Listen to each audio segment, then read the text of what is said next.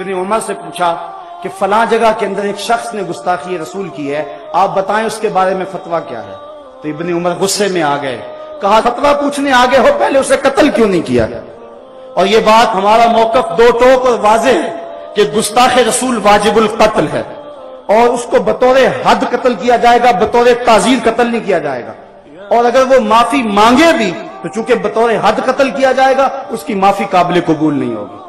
आज ये भी फलसफा लोग तलाश रहे हैं कि हुजूर ने अपने दुश्मनों को माफ़ किया है। अपने बेटे के कातल को करना माफ़ तेरी जवा मर्दी का पता चले। करना सुन्नत अदा। अपने गुस्ताख को माफ़ करना, दुश्मन को माफ़ करना और बात है, लेकिन महबूब के दुश्मन को माफ़ करना और बात है। दूसरे लफ्जों में यूँ समझ लो, अपने दुश्मन को माफ़ करना जवा मर्दी है और महबूब के दुश्मन को माफ़ कर देना बेगैरती हुआ करती है।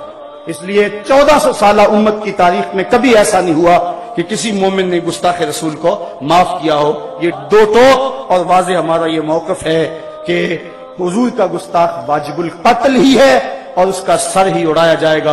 बल्कि फतावा आलमगीरिया में पाँच सौ ओला माए हिंद ने फतवा दिया। कसेरा गुफ्त के जामा पैगंबर रेमनाक बूद। किसी ने अगर कहा कि हुजूर जो लिबास पहनते थे, वो मैला कुचैला होता। है वो मैला कुचैला होता था। पाँच सौ ओला माँ ने फतवा दिया, उसकी गर्दन उड़ा दो। जो हुजूर के लिबास को भी मैला कहे। ये तो वो नाजिक बारगाह है। ले सांस भी आहिस्ता के दरबार नबी है। यहाँ तो सांसों का शोर भी बेअदबी कहलाता है। यहाँ तो जुनैदो यजीद आते हैं, वो भी सांसों को रोक के आते हैं।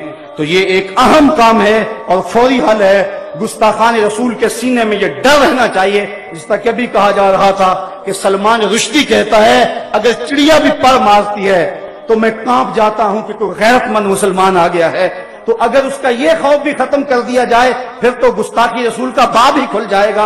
अब ही जो है वो 22 मालिक के 75 अखबार और 200 चैनलों ने ये खाके जुजतमंदी के साथ जो है वो शाया किए, और ये पहली मरतबा ऐसा हुआ है। वरना 14 सदियों की तारीख गवाह है कि कभी भी ऐसे तहरीक के तौर पर जुजत नहीं हुई कि यूँ हजूर की तोहीन की जाए।